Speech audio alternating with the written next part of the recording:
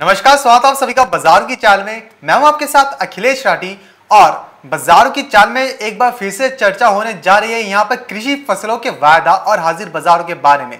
जानेंगे कि शाम के कारोबारी सत्र में कृषि फ़सलों का वायदा बाज़ार कैसा कारोबार करता हुआ नज़र आ रहा है और उस पर हमारे एक्सपर्ट की क्या राय है, कैसे फंडामेंटल से किस कम्युनिटी के अंदर आगे जाके कितनी मनी तेज़ी देखने को मिल सकती है, ये सब जानने की कोशिश करेंगे।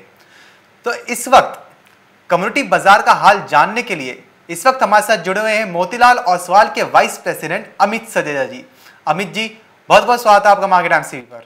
अमित जी, सबसे पहले आपसे कैसे के ऊपर बात करना चाहूँगा? देख रहे हैं, कैसे सीट का नवंबर वायदा चौसठ पर कारोबार करता हुआ नज़र आ रहा है। छियासठ का हाई लगा चुका है, लगभग डेढ़ फ़ीसदी की तेज़ी है। आपने लास्ट टाइम कैसे का टारगेट दिया था कि पैंसठ सौ छियासठ के लेवल्स देखने को मिल सकते हैं? आज आपके वो टारगेट्स अचीव होते हुए नज़र आ गए हैं। अब आपको इससे आगे क्या लगता है कैसे में कैसे रुझान रहेगा? जी आ, बिल्कुल जो इनिशियल टारगेट्स थे जो हमने पिछले हफ़्ते डिस्कस किए थे वो हासिल हो चुके हैं।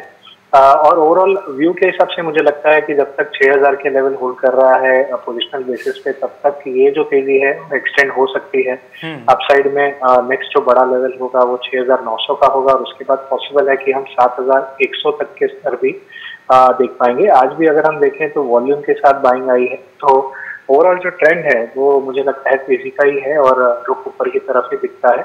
आ, कोई भी रीजनेबल डिप आती है यानी 6300 से 6250 के करीब आता है तो जो निवेशक है वो दोबारा एंटर कर सकते हैं 6900 के नए फ्रेश हाइस के टारगेट के लिए। जी।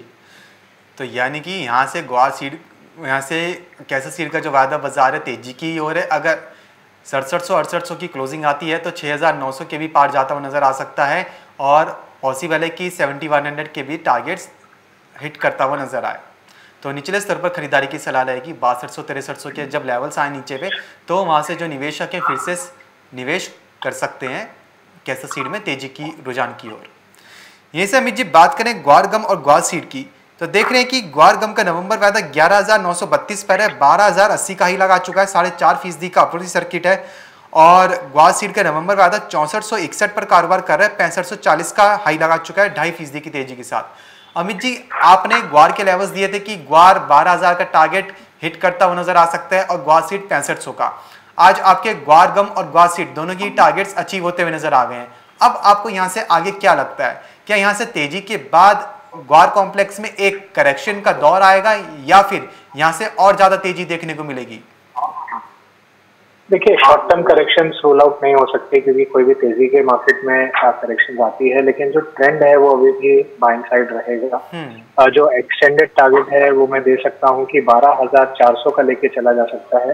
आ, लेकिन इस ट्रेड को इनिशिएट करने के लिए आपको हो सकता है कि शॉर्ट टर्म बेसिस 11,850 से 11,800 तक के स्तर मिले। हम्म। वहाँ पर इनिशिएट किया जा सकता है और बारह हज़ार चार सौ के short to medium term target लिए जा सकते हैं। जी। जहाँ तक क्वारकम का सवाल है। अगर यही ग्वार सीड की बात करूँ तो मुझे लगता है कि ग्वार सीड में भी मिनिमम छह हज़ार आठ सौ का एक लेवल है जो हमें काफ़ी जल्द नज़र आ सकता है। तो ग्वार सीड में करंट मार्केट पे भी बाइंग की जा सकती है और अपसाइड में छह हज़ार आठ सौ का एक पोजिशनल व्यू लेके चला जा सकता है। जी। तो यानी कि ग्वार कॉम्प्लेक्स में अभी भी तेज़ी का ही रुझान है। अमित जी ने जो टारगेट्स दिए हैं आप उन पर खरीदारी करके चल सकते हैं। यहीं से जी, बात करें बिनौला खल की तो बिनौला खल में देख रहे हैं कि 2400 के लेवल्स अभी भी देखने को मिल रहे हैं। आपने जैसा बताया था कि बिनौला खल में अभी कुछ नरमी और देखने को मिलेगी, हम वैसा ही अभी होता हुआ देख रहे हैं। अब आपको यहाँ से क्या लगता है? क्या लोअर लेवल से बाइंग इनिशिएट हो सकती है यहाँ से? जी देखिए, मेरे हिसाब से कुछ समय और इसमें जो प्रेशर है वो बना रहेगा और लगता है कि हम 2300 से 2500 के बीच कंसोलिडेट करने के बाद इवेंचुअली अपसाइड में निकल निकलता हुआ देखेंगे। लेकिन फ़िलहाल जो है कुछ और समय दबाव बना रहेगा। डाउन साइड में जैसे मैंने बताया कि इमीडिएट सपोर्ट जो है वो तेईस सौ से तेईस सौ बीस के रीजन में है। तो वहाँ तक आने के बाद आ, मैं उम्मीद करता हूँ कि इसमें तेज़ी के आसार दिख पाएँगे। लेकिन फ़िलहाल मैं सैलोन जालिस की रणनीति की सलाह देना चाहूँगा। जी। तो यानी कि बिनौला खल में अभी जो नरमी वाला रुझान है, ये जारी रह सकता है। तेईस तक के लेवल्स देखने को मिल सकते हैं। निचले स्तर से खरीदारी निकल के सामने आएगी, लेकिन अभी हाल फ़िलहाल में अमित जी की तरफ़ से बिनौला खल में ऊपरी तरफ़ से बिकवाली की सलाह रहेगी। यही से अमित जी, बात करें अगर मसाला कॉम्प्लेक्स की तो मसालों में आपको क्या लग रहा है? देख रहे हैं कि धनिया और जीरा, ये दोनों हल्दी से ज़्यादा अच्छे खासे लेवल्स पर ट्रेड करते हुए नज़र आ रहे हैं। एक बार फिर से देख रहे हैं कि जीरा पंद्रह हज़ार की ओर जाता हुआ नज़र आ रहा है और जो धनिया है, पिछले दो से तीन ट्रेडिंग सेशन से आठ हज़ार के ऊपर ट्रेड करता हुआ नज़र आ रहा है।